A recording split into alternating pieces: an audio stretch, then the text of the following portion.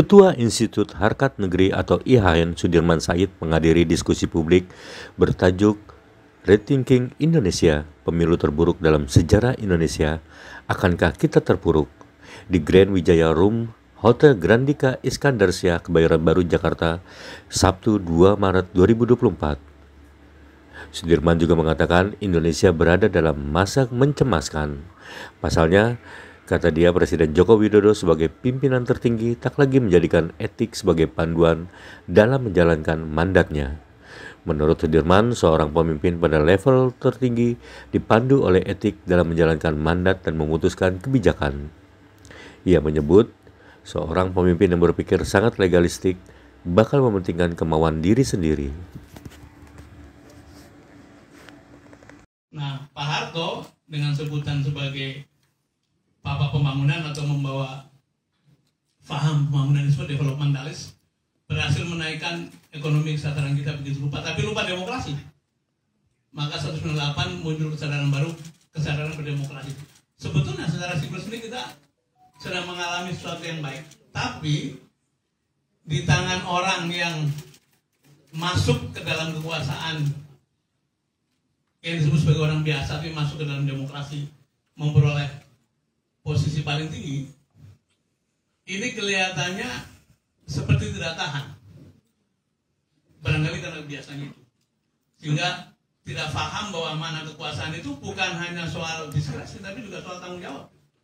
Bahwa yang berkuasa betul memperoleh keleluasaan sehingga bisa berbuat apa saja tapi ada tanggung jawab juga yang kemudian sekarang sedang dalam ujian.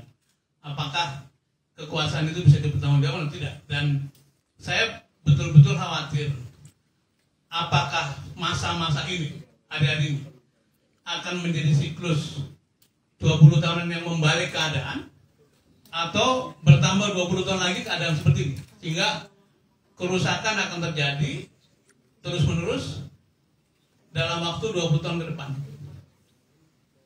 Katanya di bisik-bisik di luar, sudah ada yang membuat skenario bahwa keadaan ini akan berlangsung selama 20 sampai 25 tahun. Bahkan sudah mulai ada bisik-bisik sudah seluruh partai dimasukkan ini dalam satu koalisi besar permanen jangka panjang tinggal satu atau dua ditinggalkan di luar itu. Ini satu etikat yang sangat buruk yang akan membuat kita makin terjerembab yang saya sebut tadi bisa masuk dalam kategori unfixable tidak bisa diperbaiki ya memang eh, bagi elit yang sekarang sedang dalam kekuasaan dan mungkin juga akan melanjutkan bagi mereka satu berkah karena keleluasannya akan berlanjut tetapi karena PR kita adalah soal gap, soal keadilan sosial, soal penegakan hukum, maka hal-hal yang menjadi PR kita tidak akan bisa diselesaikan.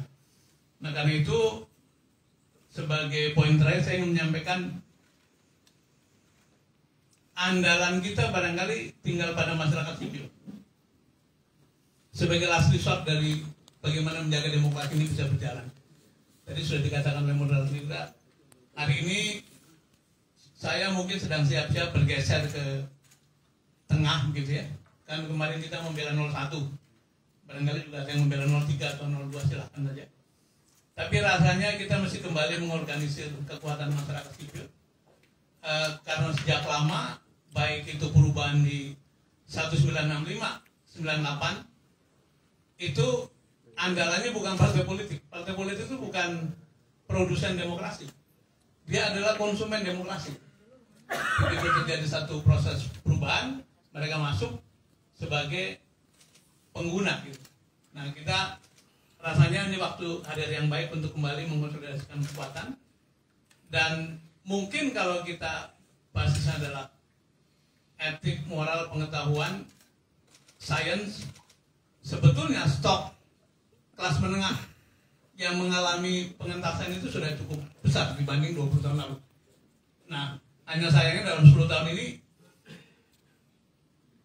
kebijakan-kebijakan negara ini tidak terlalu pro pada sains bahkan